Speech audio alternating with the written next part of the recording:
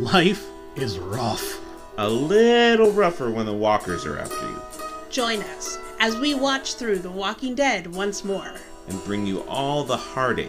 Easter eggs, hidden details. And survival tips that we can find. Elated Geek now brings you Sunday of the Dead. Warning Sunday of the Dead contains spoilers for the Walking Dead franchise.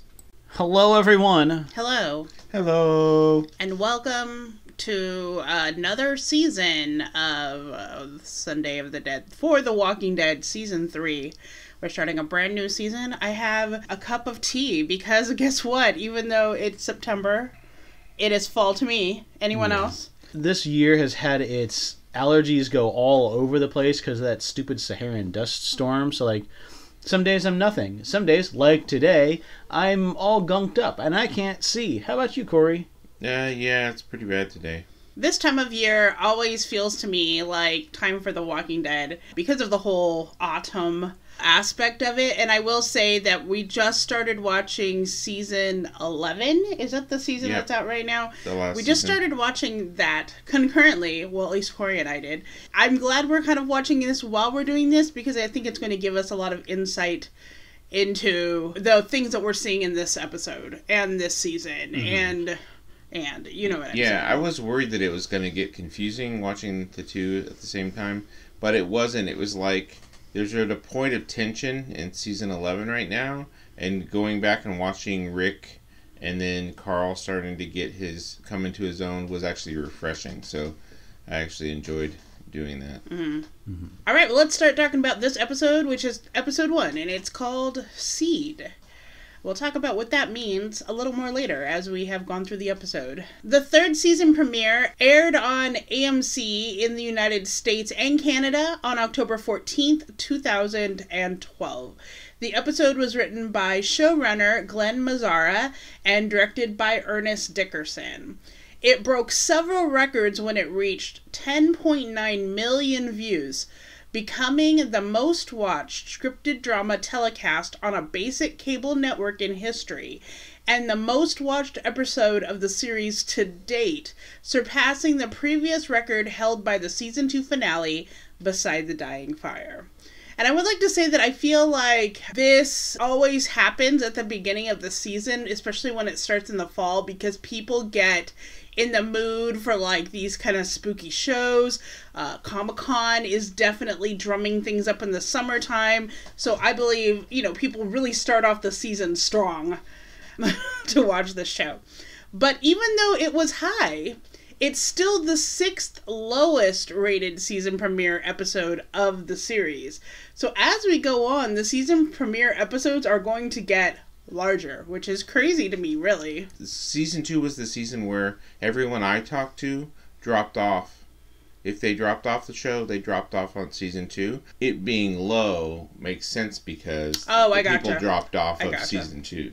And I feel like as the series went on, they got better at making cliffhanger endings, mm-hmm. where season one didn't really have a cliffhanger. Season two, again, didn't fully have a cliffhanger. They ended the series in a way that they're like, we can end here if we Right. wanted to. Then they start doing real cliffhanger endings. And as I was telling Corey and Marshall, I started rewatching The Walking Dead uh, previously, before we started this podcast. I had gotten up to episode two of the season and stopped. So after we get through episode two, it will be the first time I have watched the series more than once. Right now, I'm I've probably watched them a few times. One thing you do need to know about this episode is that it is set eight months after we see the farm burn in last season's finale. So they have been legitimately wandering around for eight months in a circle. And I also want to remind you all that uh, in that last episode, you saw the prison, which was a little bit off in the distance from where they were, but not totally far. But they still haven't found that prison in eight months. And we're going to get to why that is in a little while. Right. All right, let's start this episode. In the opening scene, you are kind of being zoomed out away from what looks like an eye. And as you continue to zoom, you realize that it is a zombie eye. So, something that's really interesting about this scene that we're going to probably talk about in a different episode is that as it's panning out to show the walker's face, this is also done in another episode. So the final episode for this season starts out the same way, but when the camera pans out, it reveals the governor's face. It's possibly a metaphor for how the show starts off with walkers being the biggest danger to the group and ends with them learning that other people are often a greater threat to them. Now, I get a lot of these notes from like again wikipedia or imdb or just basic internet searches. So a lot of other people have found these tidbits that i'm sharing with you. They're not all me or all marshall or all corey. But i find that to be very true. I think this is the season where walkers while still an ever-present danger are not as dangerous as a human They become a part of the environment. They're no longer a dynamic threat. So after we pan away from the walkers, we see that they are in a house and they're just kind of in there like and the door busts open and the first people through the door are Rick and T-Dog and they just start wailing on those walkers. And like you can see just a half second before it cuts, you can see Daryl and Carl coming in right behind them. Mm-hmm. So this particular house is at 735 Reese Road and it is in Senoia, Georgia. I was able to see the house on Google Maps. It's still there. It looks very run down, but it's still there right off the road. I I probably spent a good 30 minutes just trying to figure out where because it's set back a lot from the road. Uh, it is covered by trees. If you didn't just stumble across it, you would drive by and be, wouldn't even know it was there, really. They are casing the house to see if they can find more walkers. Are there food? Are there bad people holding up somewhere? Really? Rick finds this linen closet with this weird secret door. As I'm watching, because obviously I don't really know what's going on at this point, right? We're just watching the episode. I notice there's like a half flat of water bottles that are on the shelf to his left. And I'm like, oh, well, if you're scavenging, shouldn't you be taking that water? Because that water is always helpful. But then I realized that they're they're planning on staying there, so they don't. But as we come to find out, this was a bad move on his part, not taking those waters. Yeah. So then he starts to continue through this weird linen closet, and there is a door at the end, and he opens it up, and it's Daryl from another part of the house. They continue to go on a house sweep. Carl goes into a room, sees a walker, shoots it in the head. And what we can see here is that he's got a makeshift suppressor on his gun. As far as I can tell, it's just a Glock, but the suppressor that he's using is made from a steel water bottle that has either been somehow welded or duct taped to the end of the gun. Mm, and gotcha. you can find instructions on how to make these on the internet, but they aren't very durable. They're not designed to last for long term. Right. What I'm surprised by is that we don't see this very much in the series. If you know that these walkers are being drawn by the the noise, why not suppress all of your weapons? Right. that Rick's. Rick's is suppressed in this scene too. Yes, Rick actually has a professional silencer Silencer. attached. Mm. Yeah. So Daryl and T Dog go upstairs, and at the same time, we see Glenn and Maggie coming in the back door, and I think one of them has a shovel. I can't Glenn. remember who.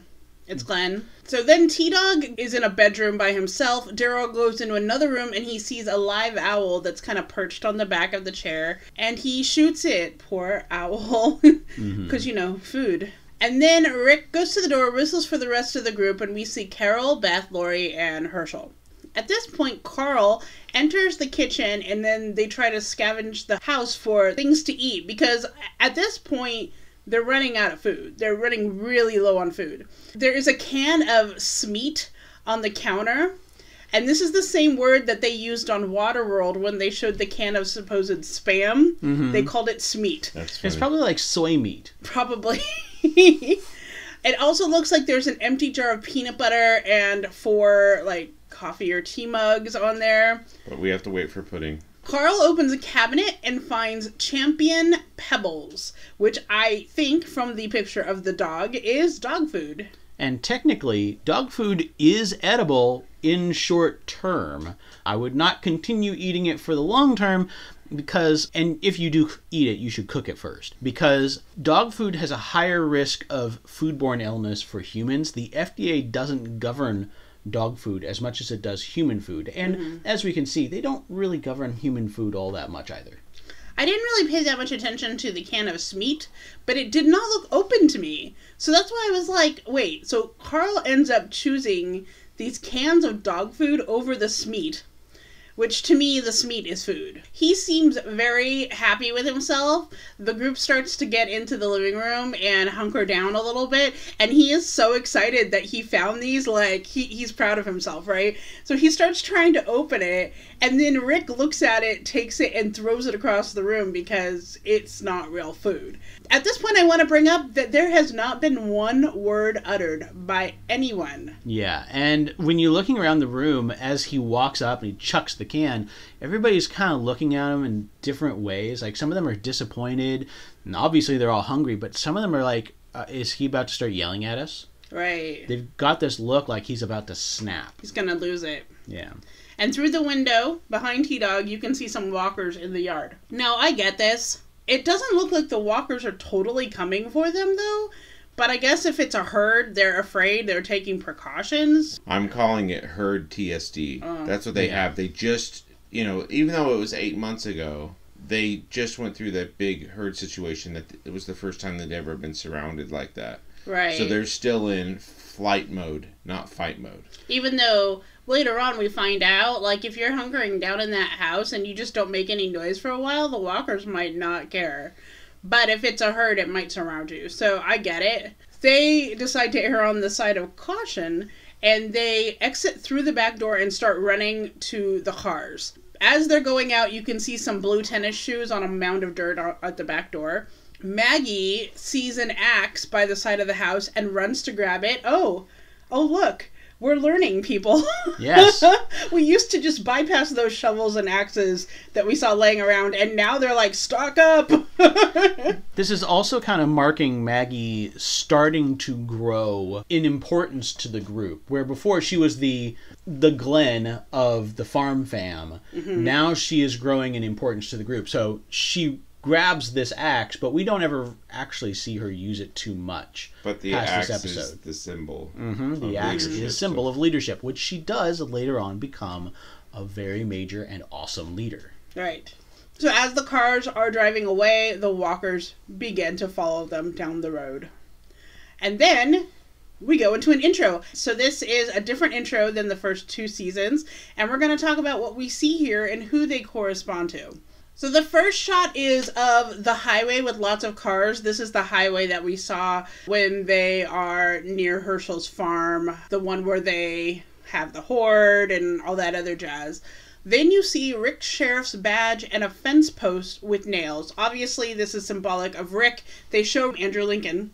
They show his name right during this, so we know that's a Rick correlation. Then we see gun shells with a centipede crawling around it. And the two names that they flash are the actresses who play Lori and Andrea in this shot. And that kind of makes me think because we've already kind of associated Andrea with guns. She's been very Right. much about guns. So those two gun shells may be representing Andrea, but if Lori is also being represented in this scene, does that mean she's being represented by the centipede? Yeah, that was my question. Well, here's the thing. Later on, there is a scene where she's wondering what she has inside her. Oh, yeah. There's a creep factor to it. That's so- terrifying. Yeah. Thanks. the next shot is two arrows in a tree, and that is representing Daryl. Norman Reedus shows up. Then we see the farmhouse, which is Herschel's farmhouse. There are no actor or actress names during this shot. Then there is a watch with spitting hands. That's Steven Yeun, who is Glenn. And That's ju- true. just for clarification, it's pronounced Yun. that watch is supposed to be Herschel's watch that he gave to Glenn. Then we see a cemetery with Maggie's name, Lauren Cohan. Thoughts about that one? Well, the family. Yeah. Family's dead. There's oh, people Oh, in yeah. her family. The next shot is some Cherokee roses. And then that you see that in the foreground and it kind of like zooms out and you can see behind them an abandoned house. And that is Carl And then we see another shot of feet shadows under a door, which is Danai Gurira. right, and that is Michonne. Mm-hmm. Then we see a Walker eyeball. Hate that one. then an inside of a rundown cabin and a forest. So those are the only names that they do flash on the screen. Everyone else happens like after the credits, where they have the names that kind of run as the episode itself is going. Then they show you Esco Feed Mill, and the sign says Esco Feed Mill Purina Chows. This is an actual place. They use it for a lot of different scenes through the season and a little into next season. It is at 16 Line Creek Road, Senoia, Georgia. Yes, you can take a tour. Wow. So I was, I'm like, ooh, we should go go look at this one. There is a storefront with an American flag on it. There is inside of a prison. It looks like. It isn't because if you look, there's a whole bunch of hooks hanging up the higher portions of the wall, and the foreground is actually the saw that we see in the very next shot. But those hooks and the mattress that you see there are out of Michonne's hideout that we're going to see later in the episode. I'm gonna give you a little tip. It's the same place. Oh, that both things location. are because yeah, that's and great. we'll talk about this later that the prison is actually built in a sound studio that is probably also built at the sound studio because when I was watching some of the special features and deleted scenes, it looked like it was in the same area. So yes, you're right. It is Mm-hmm. representative of Michonne's hideout, hideout, but it's also That's kind of fun that they're both the same place. Just yeah. anything Right. Mm-hmm. that's indoors, you can probably count on that it's an actual studio, Yeah. not a location. So then we see some kind of like saw, like, It's like a handsaw. Yeah. It was also present in the previous shot, but you were so close that you could barely understand what it was. Mm. This is also very ominous for Herschel, the one-legged wonder. right? Then there's some trees, the prison guard tower, and then a large shot of the prison because you know where this is taking place this season, primarily the prison.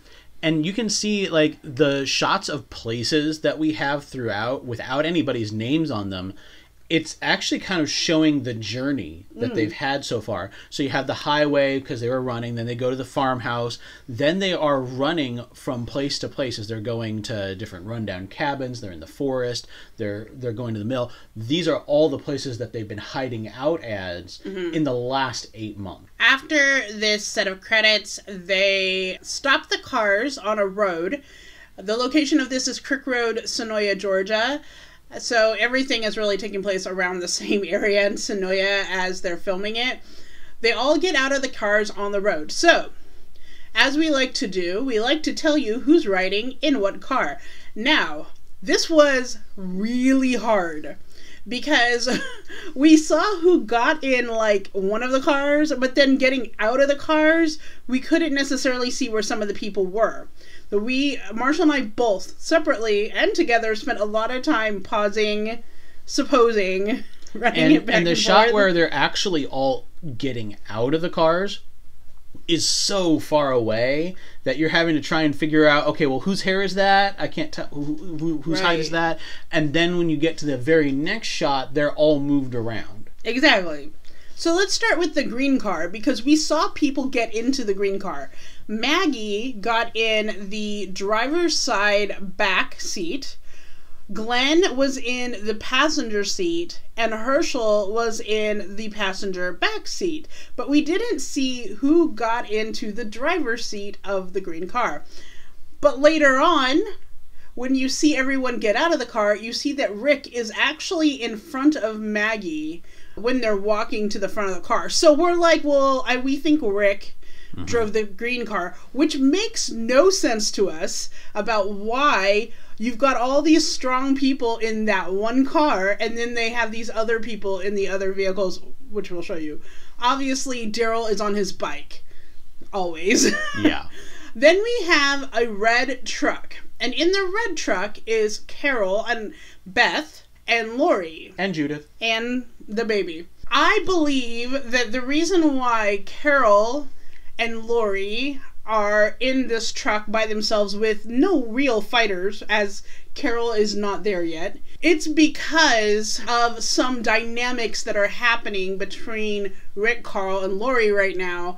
And also, as we will find out, Carol has a little bit of knowledge. If something happens and Lori goes into labor, she can also help. And they're probably, you know, having their their mutual woman supportive system happening in that car as well. Mm-hmm. So then in the silver truck is T Dog is driving and Carl is in the passenger side. That was probably the hardest one. We knew I thought T Dog was in the red truck for the longest time until we figured out he had to be the one driving that truck. At this point, Rick utters the first word of this episode. Besides the psst that T Dog did when he saw the walkers at the window, the this is the first word, and the word is fifteen. He's saying this to Carl. He goes like, "Okay, it's 15. You're on watch duty." My real question was why? Why did they choose to do this?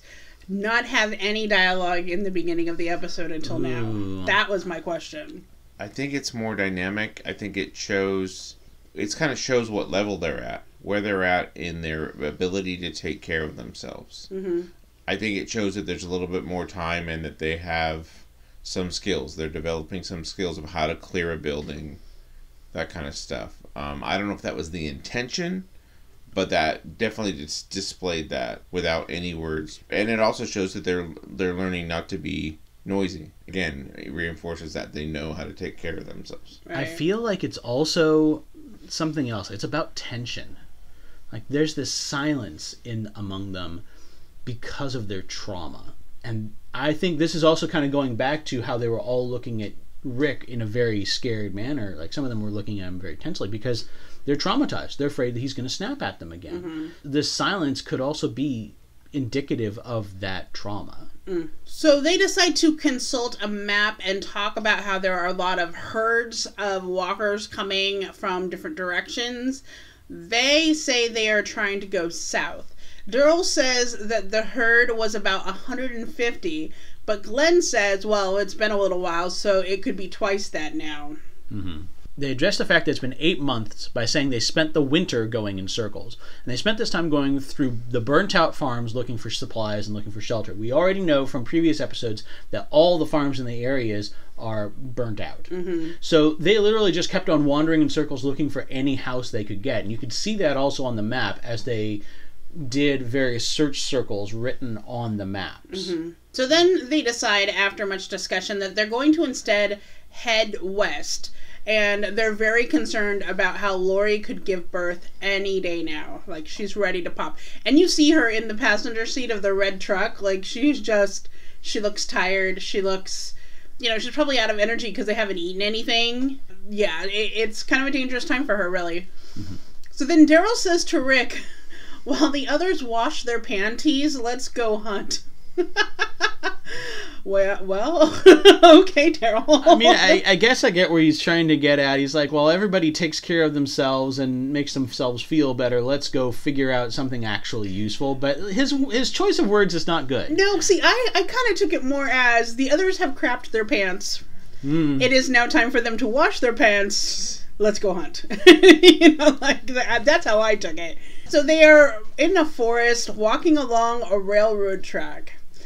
They stumble upon, finally, the prison. And you can see Rick's face. He's looking at the prison, he's getting ideas. There's a little like smirk kind of happening. Daryl just looks skeptical about the whole situation. Like, what? You want us to really? A prison?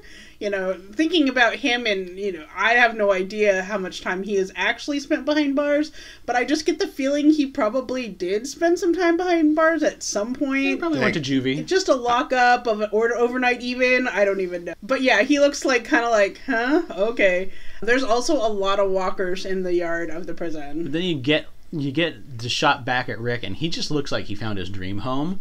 Which brings us to our brand new segment, House Hunters Apocalypse Edition. So when it comes to places to hole up for the apocalypse, there's this hierarchy of places that you actually want to be looking for. Wherever you go, there are certain things that you need, like you need it to be easily defensible, you need it to be loaded with supplies, you want a fair amount of space for farming and for crafting. And a lot of people are going to think, oh, let's go to like Walmart and the big box stores and those places that are going to have a huge amount of supplies and space. but they are terrible. You really want to avoid them. Uh, everyone is going to head there first to loot because everybody thinks of those first. So then they're going to be scavenged out by the time you get there. They're going to have zombies. They're going to have baddies all over the place. So just avoid these like the plague. They're also almost impossible to defend because even those rolling metal doors can be broken through really easily. The next thing on the list residential homes and apartments, good for scavenging, but don't stay there. Can't defend them. Not, not for very long. Hospitals have all the supplies you could ever want, plenty of room, lots of tools, but again, not defensible. And typically, they're going to have all the zombies starting there. Schools are actually a really good spot.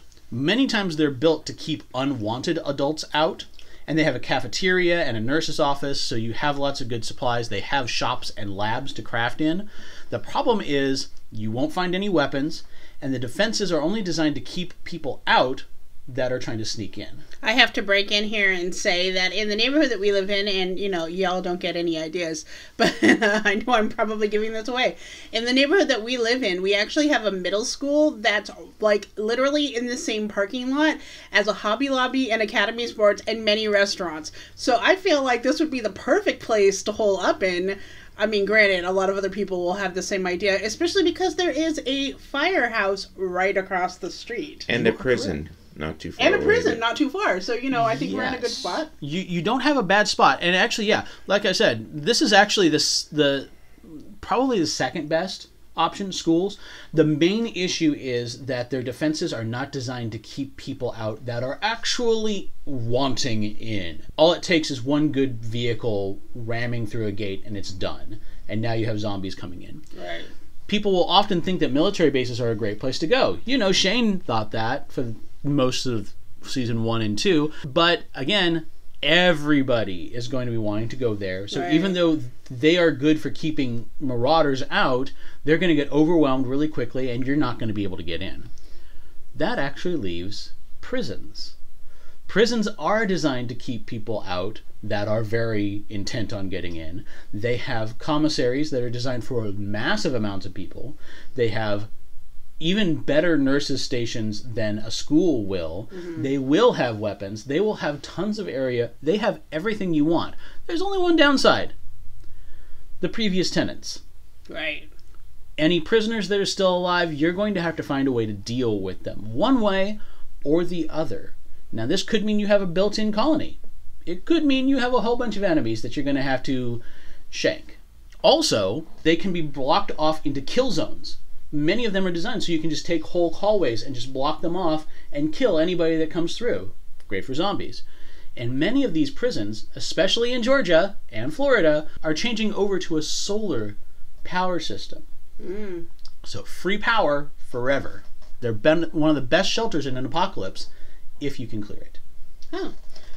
Well, this prison, our prison for this season, is the sign says that it is West Georgia Correctional Facility. This prison actually resides at Raleigh Studios at 600 Chestlehurst Road in Senoia. No, they did not film at a real prison.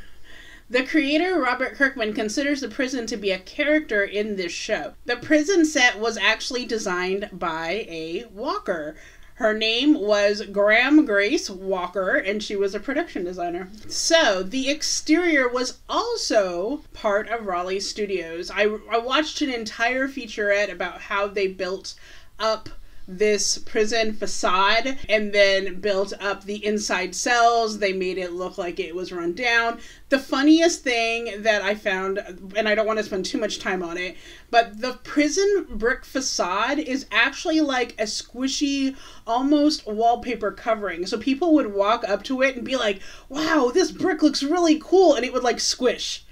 Right? because it was just a wallpaper.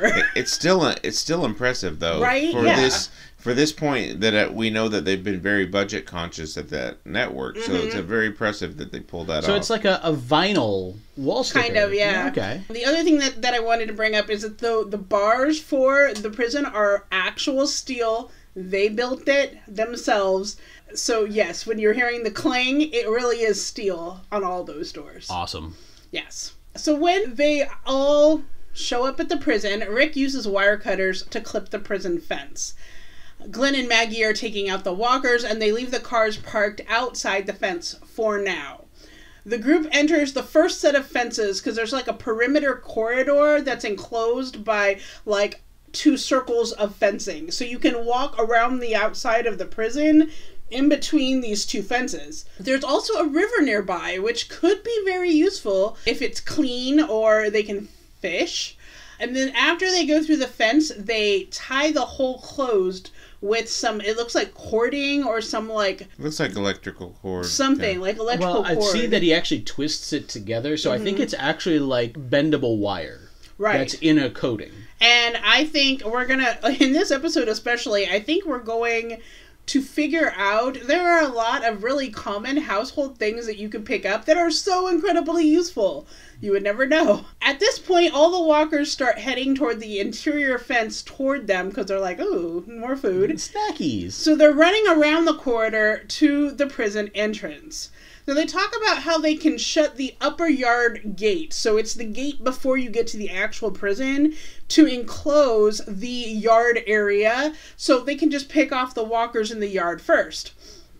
So Glenn volunteers to be the one to get the gate closed as normal. He wants to be the quick bunny and Maggie holds him back. yeah, it's like nope. Rick decides that this is the plan. Glenn, Maggie, Beth, and T Dog run to the side to distract some and kill them through the fence. Now, in my opinion, this is one of the best ways to get rid of these guys because you are the bait, but you have the fence's protection, and there is a lot of surface area around this yard. So even if the walkers start piling up next to the fence, you simply continue to move around the Spread fence out, yeah. perimeter, and they just keep coming at you, and you can just keep hitting them. And Yeah, you don't want them piling up because they could ultimately take down the fence. But yeah, Yes. if you mm-hmm. spread out, they will have to spread out and lose their force. Also, T Dog has one of the best weapons for this job at the moment. He has what looks to be a fire poker, but he uses it like a short spear.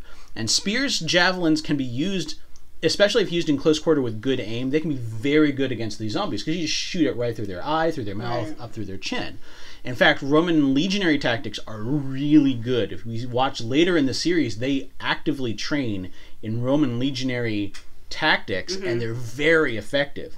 And we see Glenn switch from his spade in this episode to a piece of pipe with jagged edges because he gave his machete to Maggie. Mm-hmm. So the next prong of attack is Daryl and Carol go to one of the prison towers. Herschel and Carl go to the other. Those are the two that are closest to where they are right now that they can get to from the perimeter fence. And Carl is not using his silencer in these scenes. So everybody's going up there and everybody's, you know, shooting their own guns or bows and he's using a different gun entirely. You can see the gun with the silencer sticking out of his his side bag. Mm, gotcha.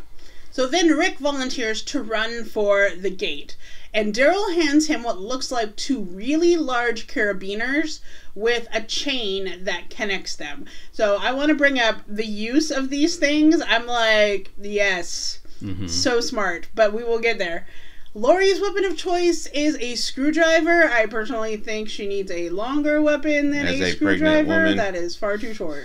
Yeah, th- there are bigger screwdrivers uh, that she probably could have used. Right. Like, you, you have some that are over a foot long. You- that- Right. Go for that. I mean, they clearly hit up some hardware store or some other store because of some of these weapons that they have and these carabiners and chains and other things. I just don't understand the screwdriver, but whatever. They get Rick through the gate.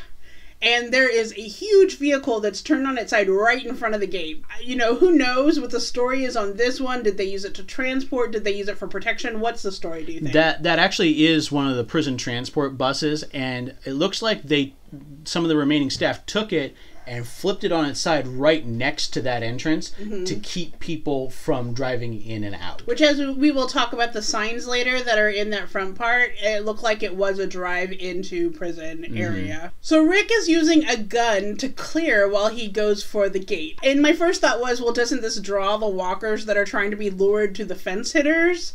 Yep, that's exactly what happened here. Yep. Even though he's using his own professional suppressor, so like he shouldn't be making as much noise. Mm-hmm. but still, he's get he's drawing in all the ones that are nearby him. Right, right. Yeah. So Rick uses the carabiners to keep the gate closed. So he shuts it and he takes it and he clips them to either side of the gate opening to keep it closed. So you can open it like a little bit, it looks like, but not all the way. And this is super smart because if you are going to be using that gate to go in and out a lot, you want to be able to have a way to open it. And uh, this is this is a great idea. Um, so then he goes to the tower that's right next to the gate and goes up and he continues to shoot the walkers in the yard. A couple more people are entering the prison yard and killing the walkers. If you notice, none of the slides on their pistols move when the rounds are fired. And there are no spent shells that are ejected. And this is mostly true for the people that are like outside the yard or in the towers. There are a couple times where you can see it, but most of the time, nothing's happening. So here. it seems kind, and I also noticed that they they didn't really behave as if their guns actually had kickback at all. Mm-hmm. So it looks like they pretty much just held their guns out and just kind of bobbed them, and then gunshot effects were probably digitally added later on. Which is silly because later on Carol complains of the kickback. Mm-hmm. But anyway, then we see that Rick is up on the tower, kind of seeing what's happening. Rick's watch here says. I think it says 458. Yeah, I couldn't really tell. I thought it was around 6:30, but I'll allow 4:58. You can tell it's getting close to dusk. As we join the people that are back in the front part of the prison yard, we're going to look at some of the signs that are there. There's, there's a sign that says a violation of any laws posted or not posted will result in immediate arrest. No cell phones allowed outside of the personal vehicle. Do not exit vehicle unless instructed. Have ID ready. Turn off engine. No stopping along road. Do not talk to inmates. Visitors will be escorted from grounds and may be subject to arrest. Wow. Yeah. So the group goes into the yard, and Lori says she hasn't felt this good in weeks. I'm thinking it's an adrenaline high, the promise of a place where they can feel more secure. Everyone is happy. They think, oh, this place is going to hold us for a while. There's a lot of potential here. A place of doom becomes a haven of hope. Theoretically. yeah. Well, nothing's permanent. I'm not saying that. but that's what they're looking for, you know? Yeah. So in uh after the like commercial break, we see in the prison yard that it looks like they have moved their vehicles up to the outside of the main prison gate. So you have their vehicles, the prison gate, and the overturned bus. All right, that's where it is. Daryl is on top of the bus, uh, and he's in a very festive poncho. Did you see that poncho? It was like, wow. I, I frequently remember this poncho almost as much as I remember his jacket. right? Oh, and the poncho is a reference to Clint Eastwood in the spaghetti Oh, westerns. nice. Nice. Um, yeah. So the rest of the group has a campfire going in the yard, and this is a really good place for them to rest until the next day when they can clear some more. And you can see that Maggie's actually cooking off of her machete. So there was also something else I saw in passing and never went by to really check and make sure I was right.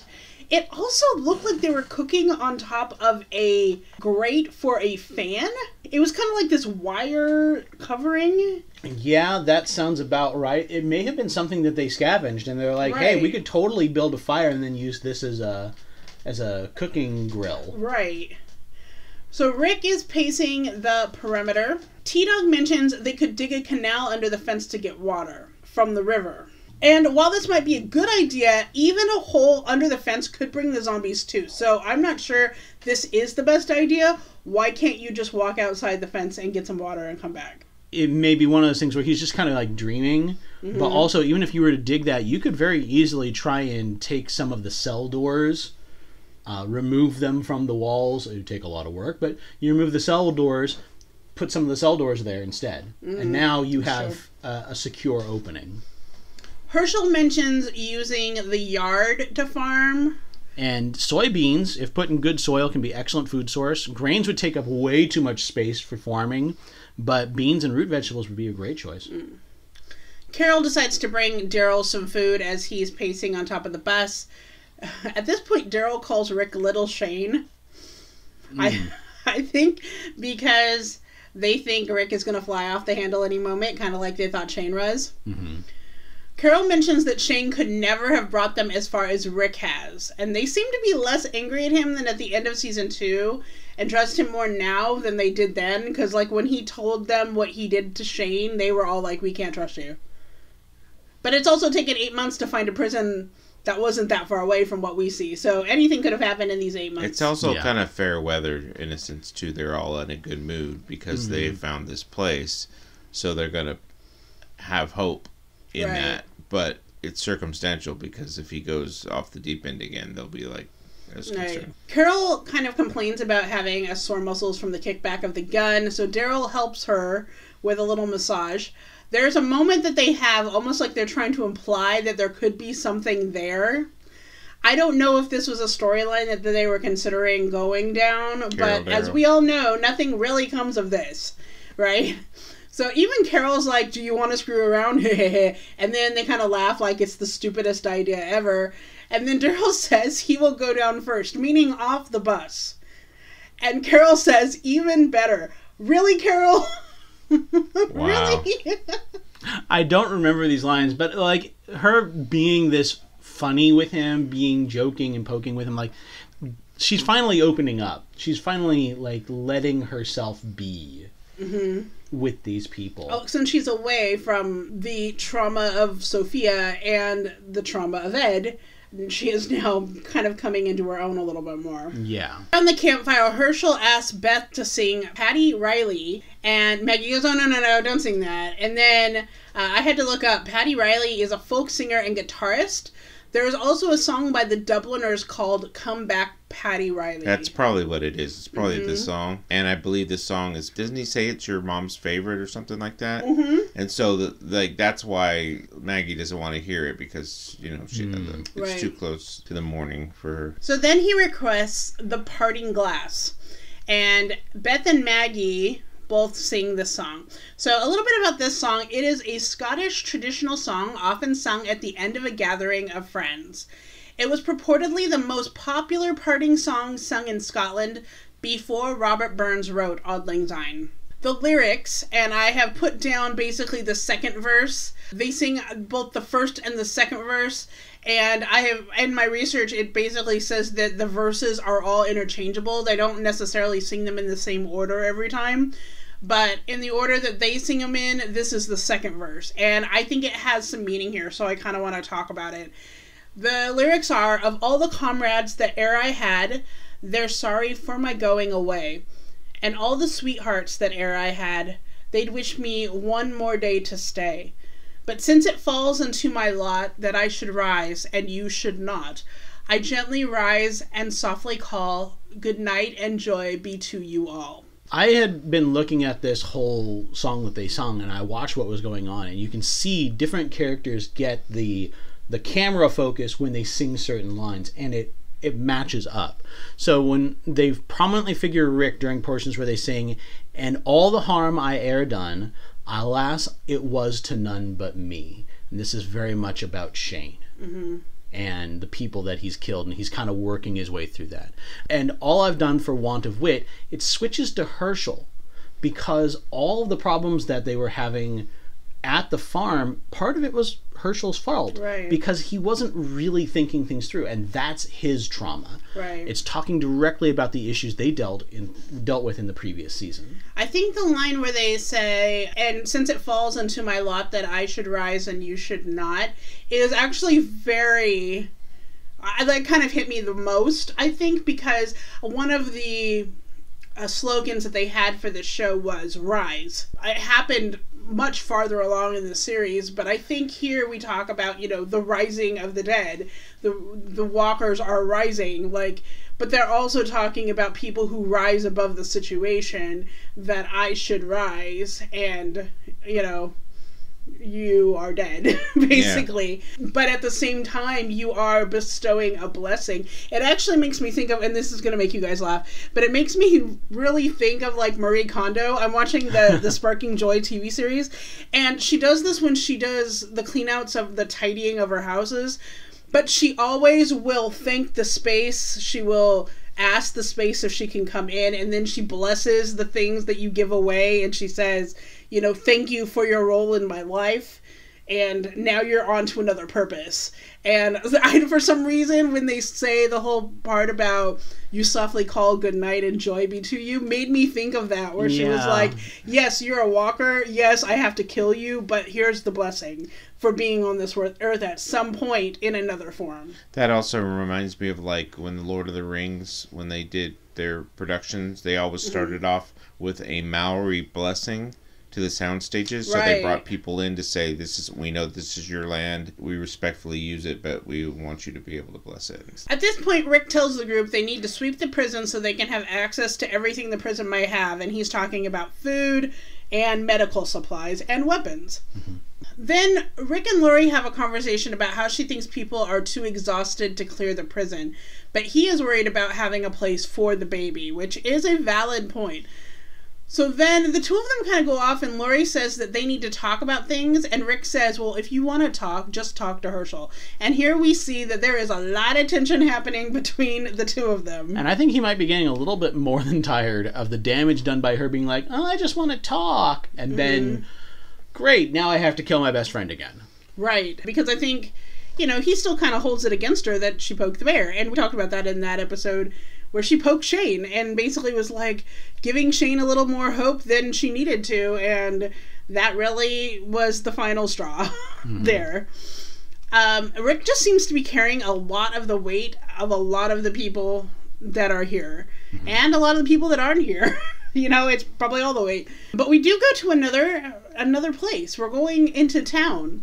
Now we are at the Case General Store that is on 2 Main Street, and this is in Haralson, Georgia. So we are not in Senoia anymore. We're in mm-hmm. Haralson. Rick and Glenn first passed this particular location, not necessarily this particular store in the series, but this location set in season 2, episode 8, when they were trying to find Herschel at the bar. This is one of the set areas that they used for this. So in this store, we see Michonne, and this is the actual Michonne, not stunt double Michonne, as we saw last season. So this is her first appearance It is not faux shown. It's not faux shown. No. So let's talk a little bit about her. Corey, tell us about this actress. So this is Danai Gurira. She's mostly known as uh, Okoye in Black Panther and the Avengers movies and the What If, but she also played Michonne in Robot Chicken, which I think is really cool that she did that and didn't make Seth Green do that voice. That's good. She was in a show that I really liked, a David Simon show called Treme about uh, New Orleans after Katrina. Mm-hmm. Mm-hmm. And remember, everyone is super excited that Michonne is finally here because everyone loves her from the comic. So I feel like this is a real turning point because we have someone who is female who isn't already like scrambling to try to figure out what she's supposed to do in this apocalyptic situation. She's already doing it. She's got the system with the pets. Yeah, she- exactly. And, uh, like she figured it out fairly She quickly. has a, a signature weapon. Um, you will find out mm, in many more seasons what her backstory really is, and I find it to be fascinating. Um, but Yeah. we will get there. I've read it as well too, so yeah. Right. So, like I said, she has a signature weapon. It is the katana. I watched a couple featurettes about how they use the katana, how she trained with it. She was given choreography, yes, but she also did a little bit of training in how you're supposed to use a katana. But nine times out of ten, when she's killing someone with a katana, there is no blade. It is CGI'd into it so that it, you know, it keeps people safe, but also that way they can just CGI what happens to the person and the blade together, and it's just one seamless move. She sees the two walkers and bam, just skewers them both at once because she's that type of person. And since we're talking about katanas, let me ask you guys, what is the primary weapon used by samurai? Well, it's not the. It isn't the katana, right? Isn't it their fists? It is not a katana. Most often, the samurai would end up using longbows and spears. Ah, Again, spears are one of the best weapons in a zombie apocalypse. But katana is designed as a battlefield weapon. But if you don't use the proper technique, it will get stuck in your opponent. And if this is a traditional katana, which I don't think it is, I think this is an American made mass market katana which contains chromium, it would need regular maintenance to keep it from rusting. And despite a lot of Reddits and message boards being like, "Oh my gosh, I have a katana. I'm going to survive the the apocalypse." No, there's a lot better weapons for a zombie apocalypse than a mm-hmm. katana. It's just a really stylish weapon. I did a little bit of like background checking for things you could get at this store currently or at some point. There's a sign for fish bait of different kinds. The windows say it's deli, hardware, and grocery. On the shelf, you can see metal watering cans, a ceramic cat, and then on the floor is aspirin, and Michonne grabs that aspirin up. They are in the prison yard again. They're about to enter into the main prison area. There is a big sign that reads, Stop. Wait for clearance. And I busted up laughing because that's exactly what they're going to do. Except they're not going to wait, they're going to clear. Everyone else needs to wait for clearance. Yes. So Rick, T Dog, Maggie, Glenn, and Daryl get ready to start killing more walkers while Herschel mans the gate. The rest of the group does the outside the gate distraction, make some noise so that they can take him out at the gate. Inside the prison, they're using this like circle formation where their backs are all to each other in a circle and they're facing out. Until T Dog breaks rank to grab a police shield. Eh? But this is helpful. This is a helpful thing. Yes, it is. Because again, shield. Roman legionary tactic. Right. But uh, what we're seeing them use here looks very similar to kind of like a, a SWAT team tactic, where you, you keep in a cluster to have maximum visibility, and you do have a breacher who goes through and Right. breaks down doors and then gets out of the way for everybody else to defend them. The group turns the corner and they see a huge amount of walkers in another part of the yard. There are guys in body armor and face shields. So Daryl goes up and tries to shoot one of them in the face and it bounces off him. And I'm like, Daryl, you're smarter than this. What made you think that you should shoot an arrow into a helmet? Well, I mean, it shoots in the face shield, and yes, the face shields are designed to be strong, but I don't think it's actually designed for that. Like, I, I feel like it shouldn't be something that an arrow should just bounce off of. Rather comically, I might add, is Right. it bong? oh, the riot armor helmets are rated for small arms fire, but I don't think hmm. that extends to the faceplate. I could be wrong. Right. But then Rick tr- tries to clobber one over the head. Again, you see this knife bonk. Why? This is so funny. I like. I spent most of the scene just laughing my head off. Really. Then they decide they're going to shut the next gate inside the prison yard with more carabiners. This is a different set. The carabiners are actually smaller this time, but it's still same idea. Two carabiners on a chain. And because of that, I really feel like carabiners on a chain needs to be added to everybody's apocalypse gear kit. Yeah, for I- sure. we're seeing that this is becoming a very handy item. So after multiple helmet thuds, they have learned their lesson. Maggie finally kills one by shoving the knife under their chin. And you see this. There's they pause on Maggie's face, and she gets this like gleeful, childlike expression. Expression that she's got now got an upgrade. She's like, "Did you see that?" skill upgrade? Achievement unlocked. Yeah. So everyone else follows suit. Let's get them all in a vulnerable spot. Obviously, there's a method that Daryl uses to do it from the back of the neck. Obviously, another vulnerable spot all around the neck. He pushes his helmet forward and drives the knife into the base of the walker's skull. And this is one of the sentry neutralization techniques taught by the U.S. Army, mm-hmm. which I believe, yep, Rick kills one of them and then looks at himself and his bloody arms like, man, I could really use a shower right now. And the thing is, those this one that he kills right now, and then he peels the mask off of it, taking a lot. oh yeah, that's that- the gross okay. one, yeah. Yeah, but it has a gas mask, no helmet. So when she swung at this first walker and it bounced off, it didn't have a helmet. No. That is funny. They decide they're going to push into the prison to clear some more. So into the prison they go to perform the stealthy search. Mm, Too bad the prison has other plans. This place is so noisy. It's all the steel. Yep. Yeah, steel on steel, baby. Yep.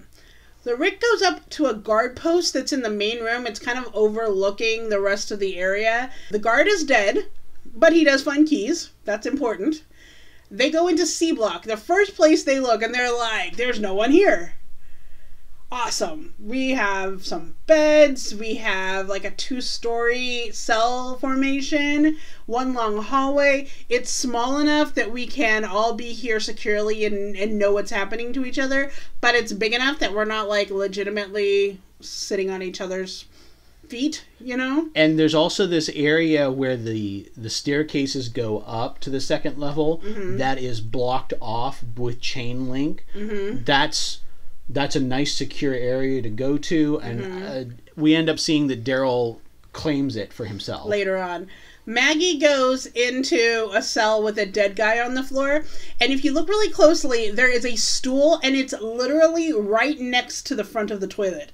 Okay, so you have two places to, to sit that are right next to each other. And in the featurettes on the DVD, Steven Yeun, Yun. Yun.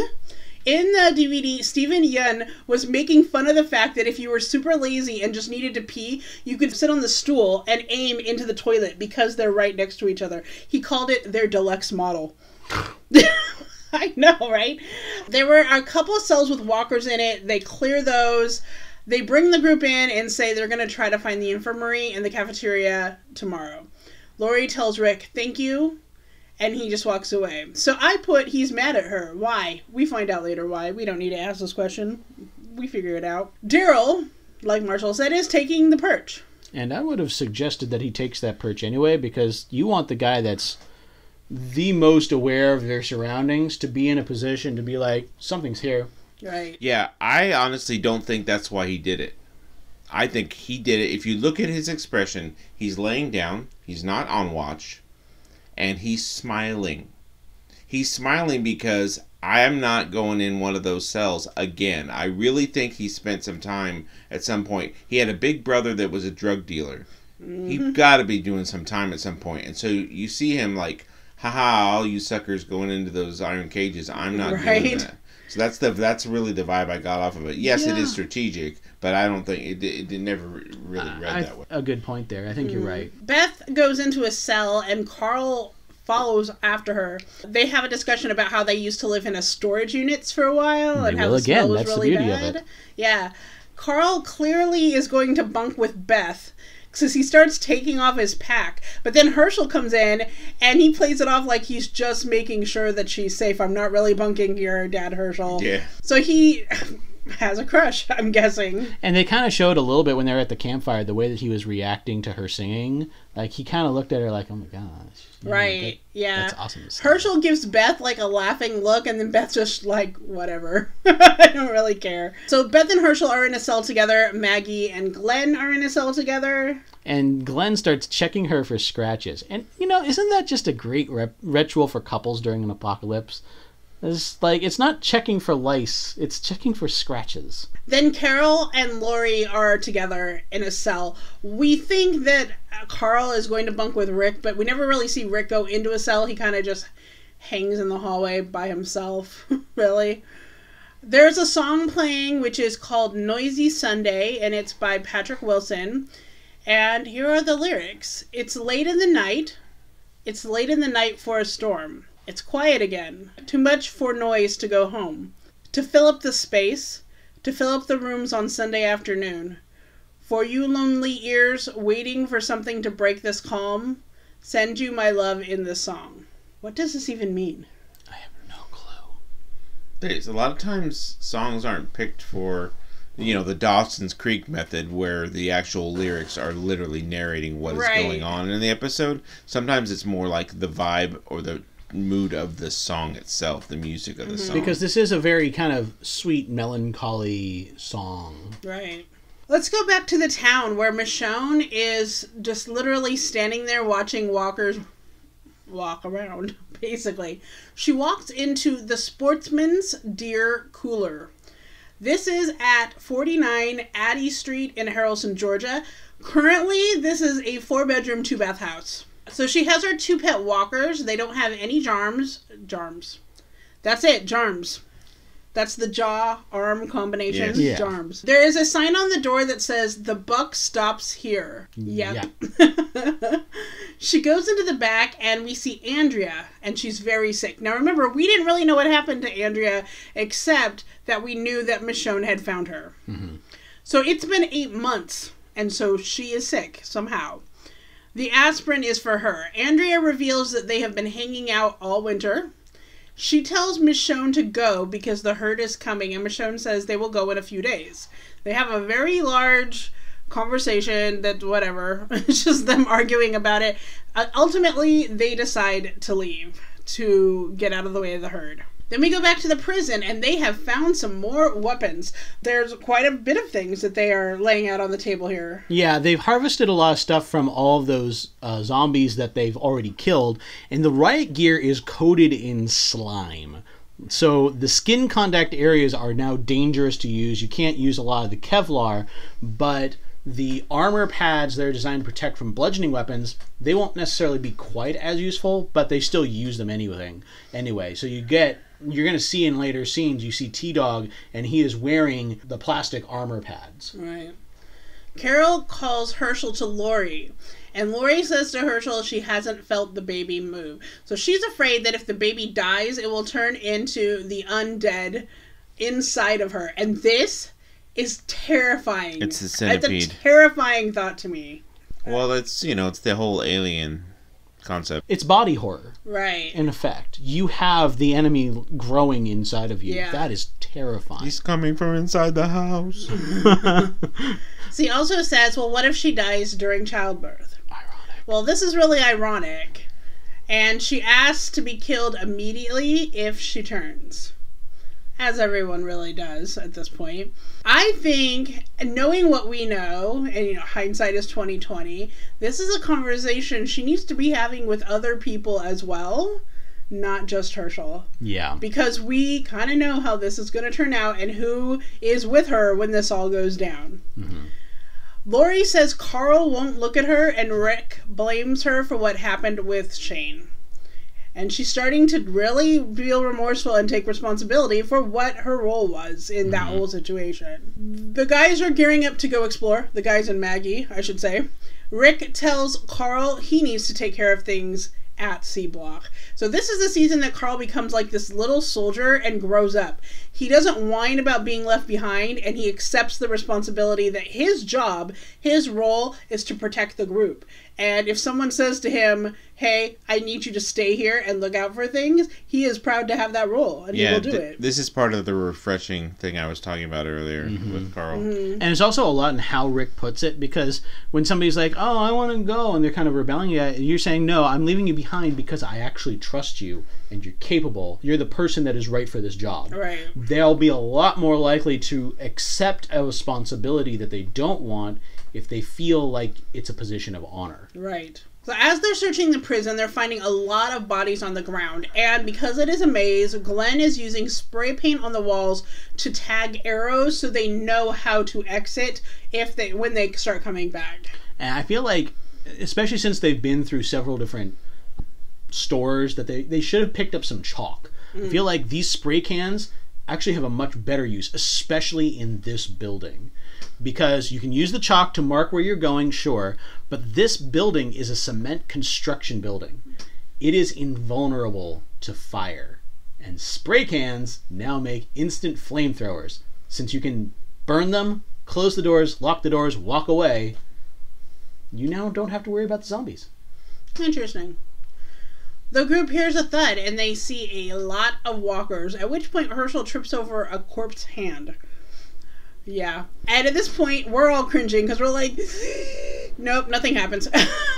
Around another corner, they see more walkers. So here's all these walkers coming at him. It seems like they keep getting trapped. And I keep on wondering why is T Dog and his shield not out in the front of the group right now? Right. It keeps on being like Maggie and Glenn. Yeah, but then Maggie and Glenn get separated from everyone else somehow. I don't know. It's really hard to see what's happening in some of these scenes, so I just summarized the best I could. Herschel is trying to find Glenn and Maggie, and vice versa. They're trying to find each other. So Herschel's kind of not really paying attention, steps over a body he thinks is all the way dead, not dead. just walking dead.